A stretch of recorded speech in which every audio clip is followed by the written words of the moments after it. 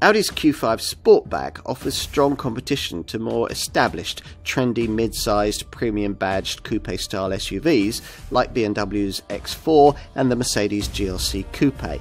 As with those cars, there aren't too many practical compromises in creation of this model's more stylish look, and clever OLED rear lighting tech offers an extra showroom incentive. If you're looking for a premium badged mid-sized SUV, you don't choose the coupe SUV variant of it to get a more sporting quality of drive. Or if you do, you're likely to be disappointed. Adding what amounts to a backwards baseball cap look to a sensible crossover class car of this kind, usually accompanied by a bit of extra weight, obviously isn't going to make any difference to the way the thing drives, whatever the glossy advertising might suggest. So it is with this Audi Q5 Sportback. The end confection here further softened by the standard SUV model's remit as a car primarily designed for a lowering rather than a raising of the heartbeat. The rather lifeless steering certainly goes with that, something that Audi should improve in future by working with its partner VW Group brand Porsche, who in the past have borrowed quite a few Q5 mechanicals for their rival Macan model. That not as many of the oily bits are shared between the two cars now is down to the fact that its current updated form, this Mark II Type 80A Q5 design, gets an extra dose of electrification under the bonnet, where, unlike the Macan, this Audi can still provide the option of diesel power, a drive format that remains defiantly favoured by customers in the upper mid-sized premium segment. Many Q5 Sportback customers will opt for it in 40 TDI diesel guise, in which form you get a recently introduced 2 litre TDI unit that offers 204 PS and features twin dosing tech for greater cleanliness that's also aided by the adoption of a 12 volt mild hybrid system. This has kept the efficiency figures competitive with base sports trim. Manages up to 44.8 mpg on the combined cycle and up to 165 grams per kilometre of CO2. The alternative mainstream 2 litre four cylinder variant, the petrol powered 45 TFSI Sportback model we're trying here with 265 PS, which features the same 7 speed S Tronic auto gearbox, also uses the 12 volt MHEV system, but a more sophisticated 48 volt mild hybrid setup features with the V6 TDI diesel engine sporting SQ5 Sportback variant, a version offering a gutsy 341 PS. A much greater degree of electrification is, of course, delivered by the two plug in hybrid Q5 derivatives the 50 TFSI-E with 299 PS and the 55 TFSI-E with 367 PS, which can run on battery power for up to 38 miles after around two hours of replenishment from a 7 kilowatt charger. These PHEVs are based around Audi's 2 litre petrol turbo engine, mated to a 105 kilowatt electric motor powered by a 14.4 kilowatt hour battery and use the same tarmac orientated Quattro Ultra predictive on demand four wheel drive system as the other mainstream models. According to Audi, form often carries as much weight as function for its customers. Well, the form here is certainly more expressive. The Q5 in this sportback form, aiming to offer what the brand hopes is a best of both worlds experience coupe style and SUV practicality, all in one classy package. This coupe SUV model is certainly sleeker than the standard version. The drag factor drops to 0.30 CD, but it's also 20 kilograms heavier, partly because it's 7 millimeters longer.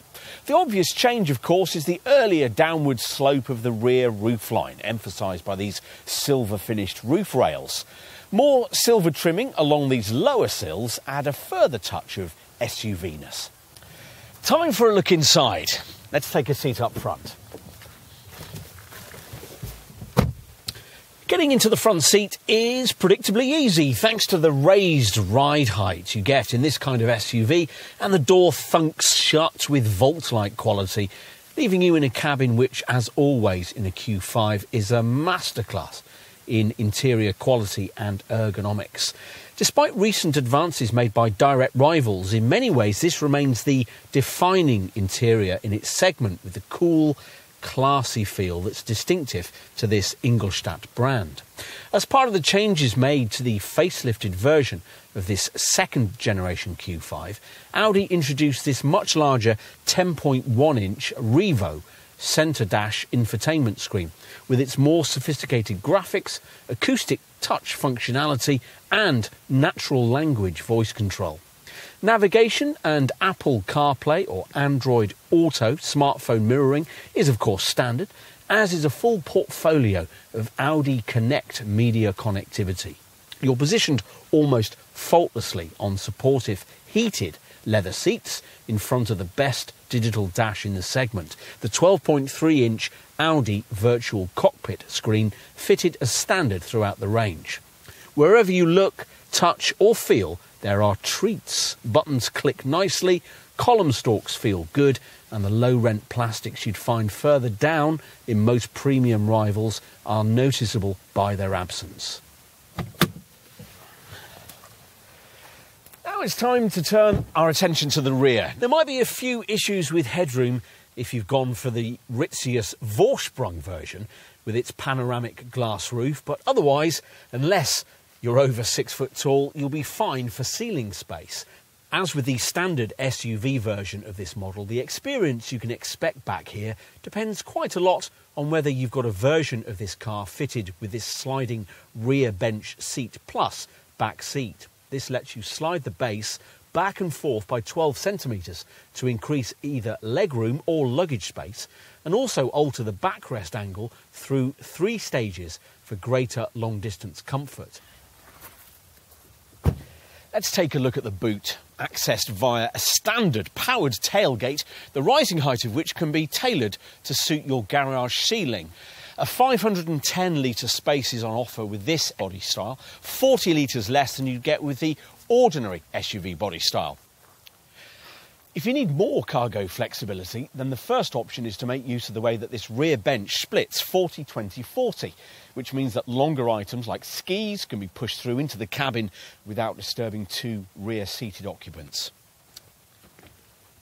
Completely flattening the rear bench frees up 1,480 litres of space in this Sportback version of this car. That's 40 litres less than the standard SUV model. It's surprising that Audi gave BMW and Mercedes the mid-size coupe SUV market to themselves for so long. But this Q5 Sportback corrects that oversight with characteristic Ingolstadt thoroughness. If the sales profile of the smaller Q3 Sportback is replicated, it'll likely be the preferred Q5 body shape in future for most customers. Overall, it's ultimately hard to escape the conclusion that this more appealing looking Q5 simply does a better job of the whole business of ticking every really important need you want to meet when buying a premium upper mid sized SUV with a real dose of segment style. There's a want one factor here which should stand this car in very good stead.